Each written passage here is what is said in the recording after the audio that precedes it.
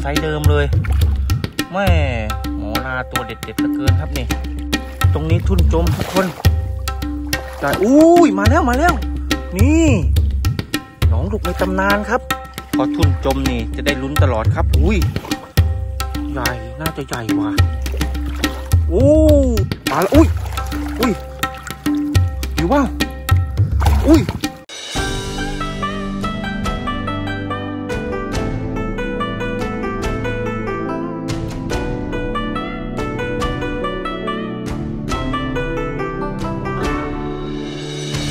สวัสดีครับ สวัสดีเพื่อนๆ พี่ๆ น้องๆนานา FC ช่องวิถีพื้นบ้าน Delivery นะครับ พบกับผมช่างนเดชน์นะ แล้วก็ด้านหน้านี่ หมายน้องดุกนะครับ น้องดุกรีเทิร์น วันนี้พามากู้อวนนะ มาวางอวนไว้ตั้งแต่เมื่อ9โมงเช้าครับ ตอนนี้ประมาณ5โมงเย็นละ ก็หมายนี้นี่ พอดีมันมีช่วงพายุฝนลงมาจังหวัดตราดนะครับ ก็เลยน้ำท่วมหนองดุกอีกแล้ว เดี๋ยวตั้งชื่อคลิปให้ว่า น้องดุกรีเทิร์นมีไหมครับ มีดินดินอยู่ครับ ดิ้นเหรอครับตัวแรกของรอบนี้จะมาแล้วนะ นี่ปลาอะไรอะ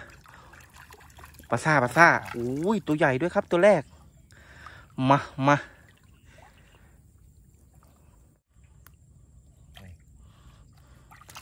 มานับหนึ่งกันแล้วครับผม เราจะกู้ทั้งหมดสองรอบนะครับ รอบเย็นแล้วก็ ไปเช้าเลยครับอีกหนึ่งรอบ อ่ากับอะไร ปลาตะกับตะกรับอุ้ยตรงนี้มีตรงนี้มีอีก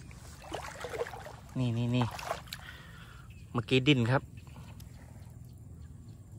ปลาอะไรอุ้ยปลาซ่าปลาซ่า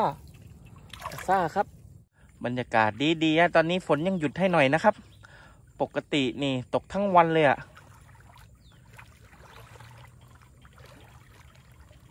ฝนเยอะครับจังหวัดตราด แม่ติดปลาซ่าตัวที่สวยดีเกินนะพี่รถนะดินดีซะด้วยนะปลาซ่าโอ้ตรงนี้สองตัวเลยครับ กลับมาที่เดิม ยังอยู่ยังอยู่กำลังจะบอกกลับมาที่เดิมมุมเดิมมุมสวยกันนะพี่หมายทุ่งนาติดภูเขาเนาะดูอุ้ยมันดินแรงนะปลาไอเนี่ย ไอซ่าเนี่ย เออ เกือบครับ เกือบอด อุ้ยโดนอีกแล้วครับ โดนอีกแล้ว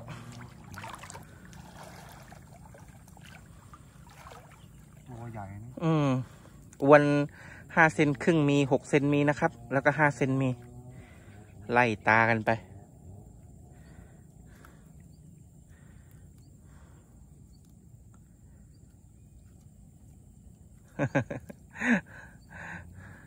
แข็งอยู่ เมื่อกี้เมื่อกี้เกือบพุ่งหลุดไปใช่ไหมยังดียังกลับมาติดอวนอยู่นะผ่านมิดเอาถุงอวนรอดีฝ่าใช่ไหมเอาเลยครับไอ้โคมันดินหลุดอยู่อืมมีไหมมีครับติดแล้วนะเขียนแล้วเนี่ยตะเพียนตะเพียน โอ้ โอ้ มันขึ้นมองเลยเดินในนาข้าวเนาะครับตะเพียนมาหนึ่งตัว ตรงนี้ดิ่นเลยครับนี่ นี่ดูปลาซ่าใหญ่นะ แบบนี้ครับ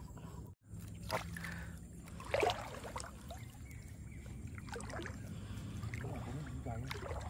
ใหญ่เนี่ยติดตะอ้วนออกปลาอ้วนผมแล้ว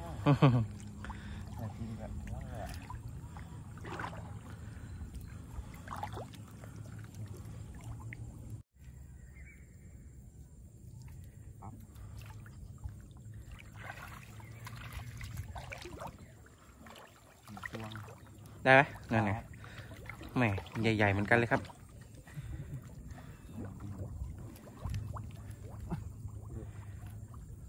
ความตั้งใจคือ นอน มาหากับข้าวแล้วก็มาหาเหยื่อปลาไหลเดือยใช่ไหมนายพรานครับ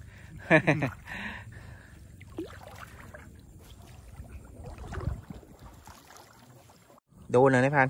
โดนมาถุงมันมาถุงมันมาเนี่ยถือได้เปล่าได้อยู่ได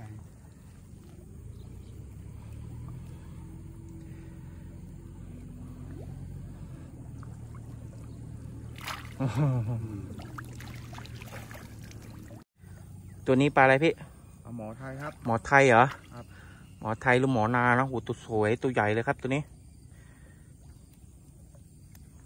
เอาไว้ครับครับเงี้ยงมันแทกเจ็บนะปลาหมอไทยใช่ไหมออกไหมกลางแขนกลางแขนทำไมเนี่ยถอกหัวให้แล้วมัน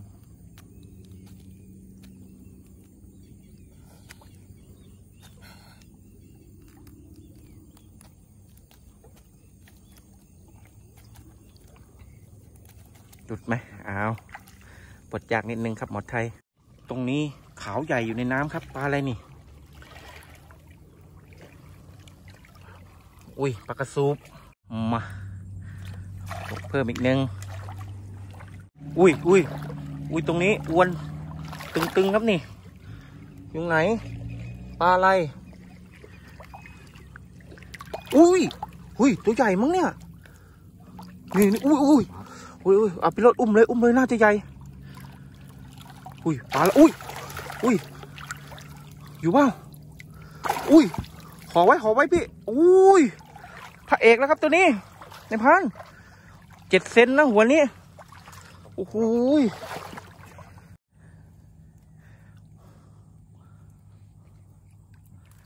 แม่อ้วนเจ็ดเซนทำเรื่องครับนี่ หัวสุดท้ายในพันโอ้โห ตัวนี้ไปชื่นใจเลยใช่ไหมไปไปยังไม่หมดครับโอ้ยโอ้ยดูตะกับตัวนี้โอ้ยเต็มฝ่ามือเลยเนี่ยเอาฝ่ามือลองพี่รถนะโอ้โหแม่ตะกับตัวอย่างนี้ครับอ่าแม่ในพานได้เท่าไหร่วันนี้ สุดท้ายแล้วนะครับ นี่ ไม่น้อยครับไม่น้อย หนองดุกรีเทิร์นมาแล้วครับผม รอบเย็นก็ยังพอได้กินนะเอาช่างดูหน่อยพี่สองสองโลสองโลสองโลสองโลสี่ครับ อะสองโลสี่ดูตัวปลากันนิดนึง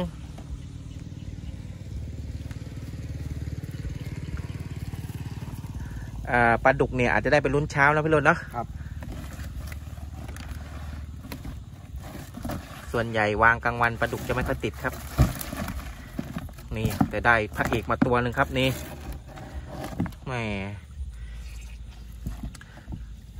ดูตะกับตัวนี้ทุกคน เนี่ยครับ โอ้โห เต็มฝ่ามือเลย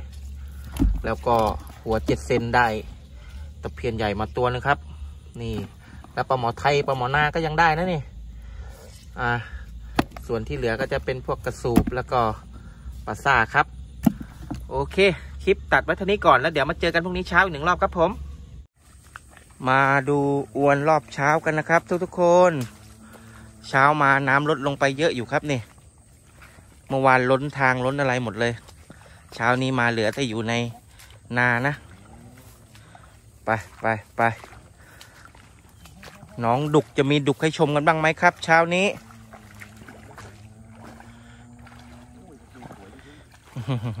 หนาวไหมลงน้ำแต่เช้า เอาเรื่องกันนะพี่รถนะครับตัวแรกเป็นอะไรพี่รถปลาหมอครับหมอหน้าเหรอครับอ้าวปลาหมอมาอยู่หนองดุกนี่นะมันไปอยู่หนองดุกนู่นเนาะเอ้ยไปอยู่หนองหมอ เช้านี้เราจะเก็บอวนขึ้นกันเลยนะครับ เพราะว่าน้ำลดแล้วเดี๋ยวมันจะแห้ง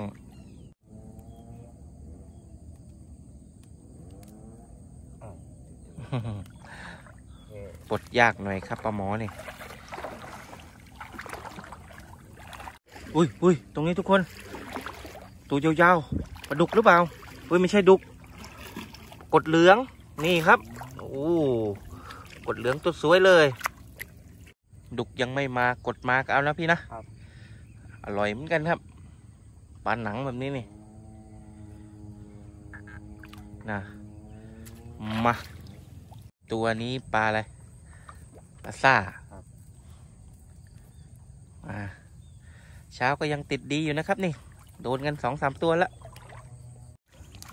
อุ้ยเฮ้ยเฮ้ยเฮ้ยเฮ้ยดุกเหรอเอาตระกูลปลาดุกหรือเปล่าเนี่ยปลาหนังเหมือนกันเนาะบ้านเราเขาเรียกอะไร ไอโอไอโอนเนาะภาคกลางเขาเรียกเนื้ออ่อนนะ หายากนี่ตัวนี้นี่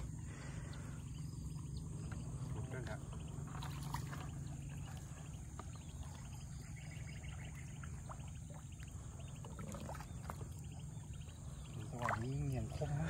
เหงียงนะ อ่า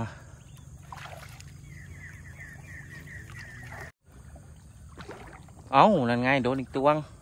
โอ้ปลาซ่าใหญ่ครับ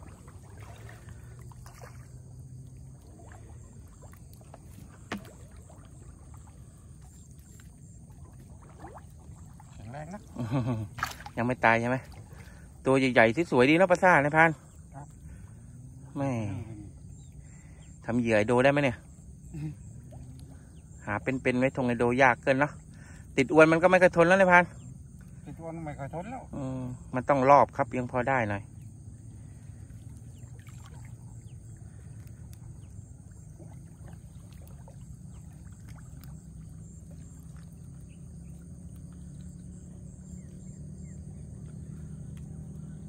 อะเรียบร้อยครับ หุยโอ้โห ตรงนี้ปลาหมอนาตัวใหญ่มากครับ ดูเป็นปะเปล่าโอ้โห เหลืองเลย นี่แม่ในแม็กวางฝ่ามือไหนอยนะอยากเห็นไซส์นี่ครับด้วย โอ้โห ไซส์อย่างนี้นี่สุดๆครับผมแม่ปลดยังไงทีนี้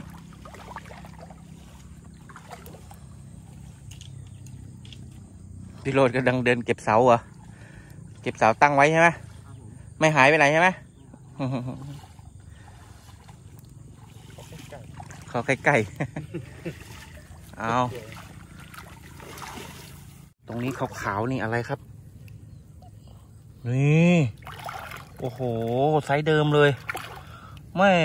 หมอนาตัวเด็ดๆเหลือเกินครับนี่ โดนปลาหมอใหญ่ๆสองตัวติดๆนี่ชื่นใจเลยเนาะพี่โรจน์เนาะแม่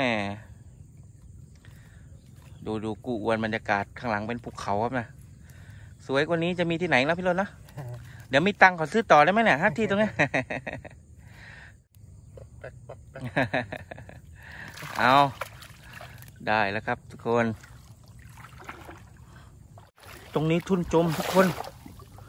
ได้อุ้ยมาแล้วมาแล้ว นี่หนองดุกในตำนานครับ ดุกอุยด้วยนี่ โอ้โห หัวนี้เจ็ดเซนนะ เจอปลาดุกใจกันแล้วครับนี่ตัวเหลืองเลยอะเนี่ย ดูดูดูดุกอุยมันจะอย่างเงี้ยครับ ตัวออกเหลืองเหลืองๆแล้วก็สั้นป้อมกระโหลกป้านครับแม่เด็ดจริง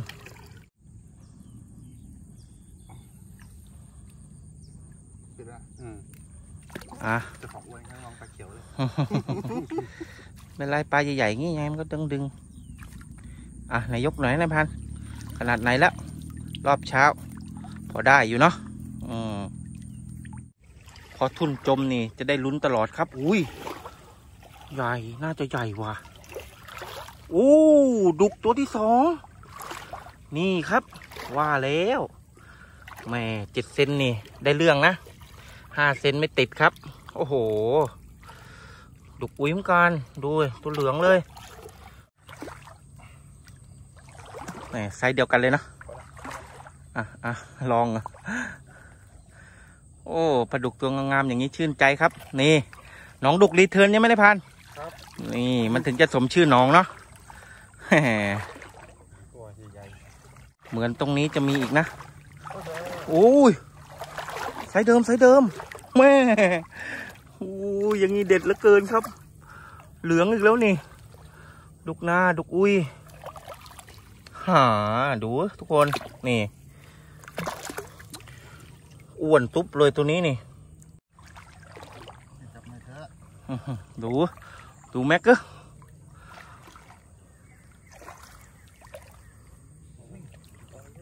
ใจอะ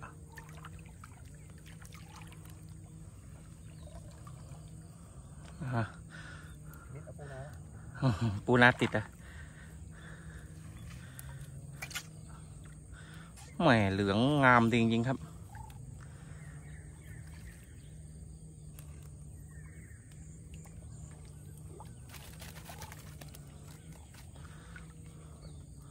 แหม่กลายเป็น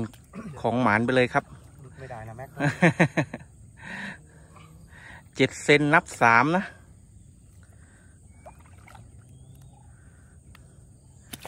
โอ้คลิปนี้จัดแต่หัวเจ็ดเซนนะประดุกนะนายพรานโอ้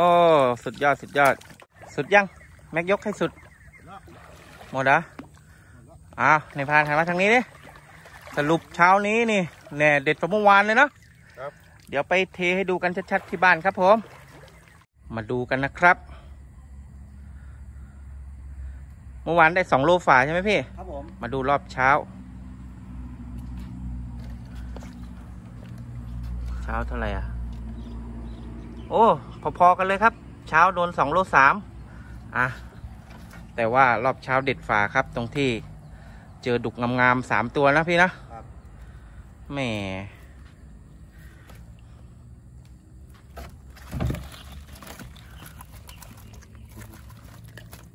พอหมอใหญ่ ๆ ก็ได้ตั้งหลายตัวนะเช้า แม่แต่ชอบปลาดุกนี่เองครับ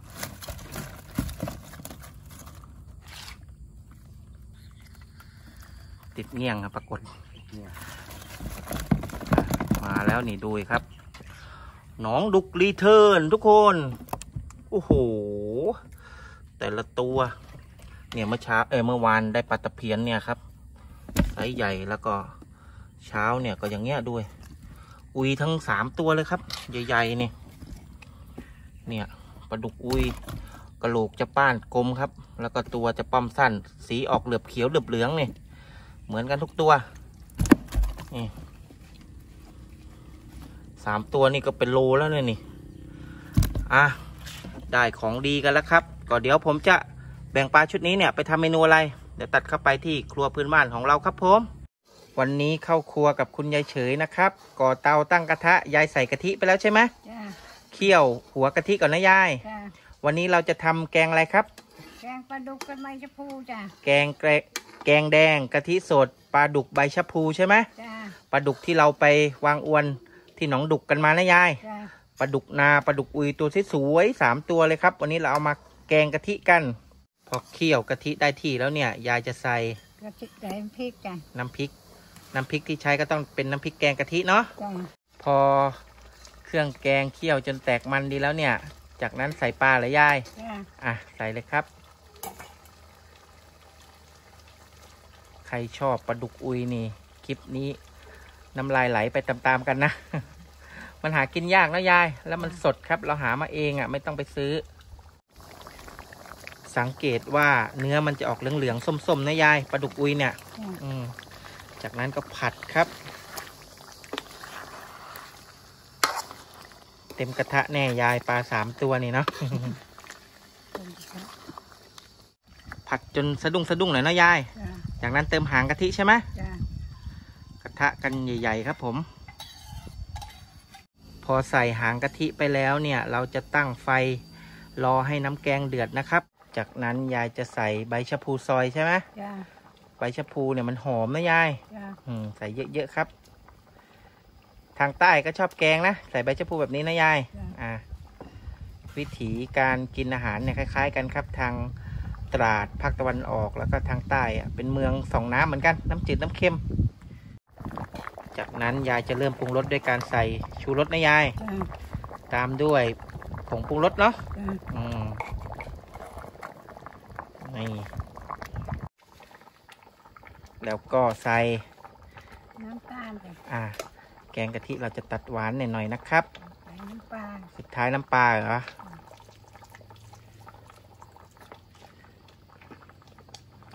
ไม่หอมจริงๆครับ ใส่ใบชะพูไปเนี่ยหอมน่ากินมากๆ ดูครับทุกคน เด็ดสุดๆแล้วครับ เมนูนี้นี่ จากนั้นคุณยายจะชิมดูซะหน่อยนะจ้าเป็นยังไงบ้างครับ ได้แล้วจ้าไม่ต้องปรุงเพิ่มเหรอจ้าอร่อยเลยใช่ไหมจ้าอ่าไหนคนดูอีกทีที่ยาย ให้กลิ่นหอมมันฟุ้งๆหน่อย นี่แหม่เนื้ออย่างเยอะครับสามตัวเต็มกระทะเลย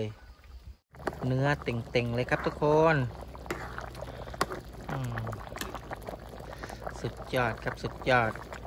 แบบนี้เสร็จแล้วใช่ไหมยาย เสร็จแล้วจ้าสาวน้องคายมาประจำการอย่างนั้นนะ เสร็จแล้วยกครับ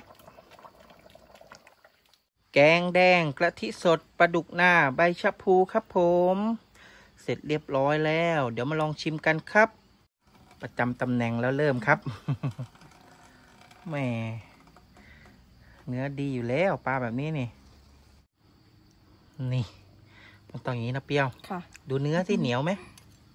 โอ้ยกลืนน้ำลายแล้วอะ่ะไม่เหนีแม่ยวใช้ได้ไม่เหนียวคำใหญ่ๆเลยใช่ไหมค่ะช้าๆนะ โอ้ยหิวข้าวแล้วหอมใบชะพูอืมนี่แหม่เสียงดังซวบเลยนะ เป็นไง อร่อย มันมันนัวมันละมุนจริง ๆ อะ ขนาดไม่ได้ชิมยังพอจะมองออกเลยครับ กับข้าวบ้านๆเนี่ย มันถือว่าสุดยอดที่สุดละเป็นไงหอมมัน อืม